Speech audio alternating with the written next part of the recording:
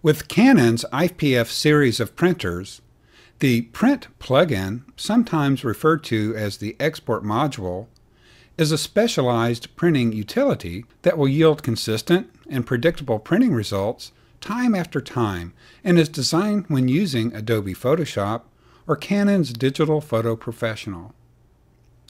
Install the plugin utility from the IPF installation CD or download the most current version from the Canon website. Compared to using the standard print driver, the export module allow you to easily set up advanced features for a variety of printing options and save these for instant access in the future. The user interface is also sticky, meaning that the previous settings you last used will remain in place each time you use the export module until you set up a new option for size, paper, and profile or color settings. Simply select your paper, profile, quality, and page size to take advantage of the powerful features of the export module. But there are even more features giving you advanced, unmatchable controls. Let's take a look at these settings, starting with the Main tab. The Main tab is where you set up your color management settings for paper type, output profiles, and print quality. First choose Select and confirm your printer. Then choose your specific paper media type. The advanced settings allow you to set up drying time, margins, cut speed, calibration value, and other options such as mirror, unidirectional printing, and high precision text or fine lines. Next is your input resolution and bit depth. And your print mode, and these options will change depending on the media type you have selected.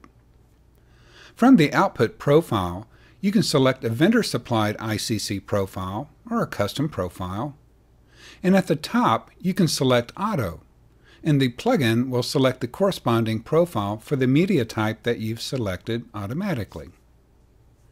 You can also select Auto Monochrome Photo for beautiful black and white images, and for those of you who need to print with no profile, such as when reading color patches for generating custom profiles, you can choose None for no color correction. If you need to generate a proof for a printing press, first select your output profile, then choose Proof. Now you can select a press profile and create a proof image for the press run. The matching method for photographers will either be relative colorimetric or perceptual. And in the ICC conversion options, you can select the OS Standard Color Management Method or the Adobe CMM. The Simulate Paper Color is best used when using the Proof feature or printing on a special matte surface paper. Click the Set Configuration option and you can select the Sharpen feature, along with the Image Enlargement method, as the plugin will resize the image for you according to the size being printed and select the option to perform printing in the background and Close plugin after printing. This will take you right back to Photoshop or DPP when the image is sent to the printer. The Page Setup tab is where you select a preset paper size or you can create a custom paper size. When choosing borderless printing, the plugin will ask you to verify the roll paper width and automatically print your image full bleed on the paper width. If you use a 24 inch printer, the portrait or landscape orientation will determine if the print will be 16 by 24 or say 24 by 36 and so on. Uncheck borderless printing and choose enlarge reduce printing. Now you can set the exact scaling up to 600% and choose your paper size and in the Layout area, choose Margins and select the position of the image. Fit Paper Size works similar to borderless printing option, but will leave a margin.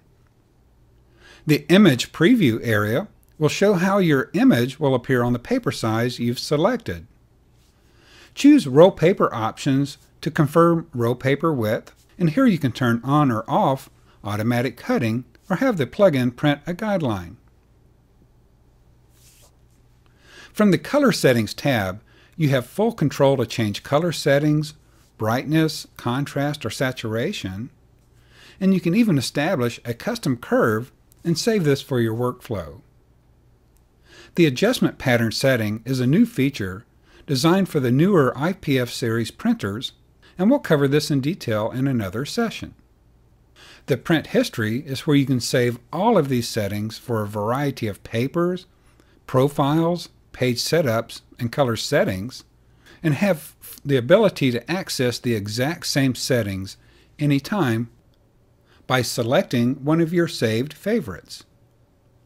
After printing your image with all the previous settings and setups, click the Detail button, select the name file, and import into your Favorites column. Name the setup and make any comments needed. And now, rather than creating the setups in the main Page Setup and Color Settings tab, you can select your saved favorites, apply it, and everything will be set up automatically for you.